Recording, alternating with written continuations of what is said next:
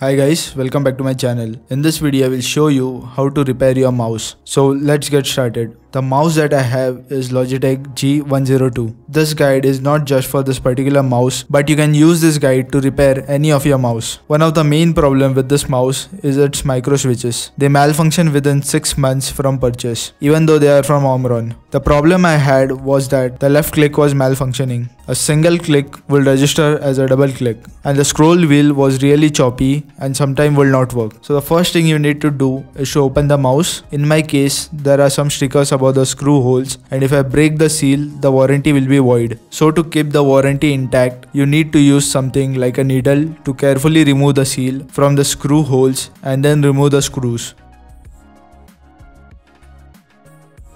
After removing the screw, disassemble the mouse and remove the main board away from the mouse.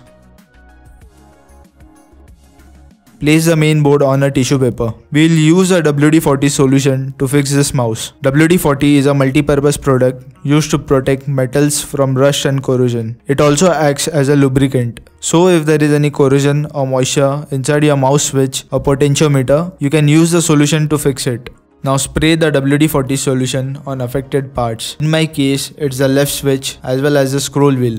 After spraying, press the button multiple times and scroll the wheel so that the solution reaches every component inside the switch and potentiometer. Doing this will fix your mouse switch as well as your potentiometer. So that's it for this video. I hope this video was helpful to you. For more stuff like this, subscribe to my channel. Thanks for watching and see you next time.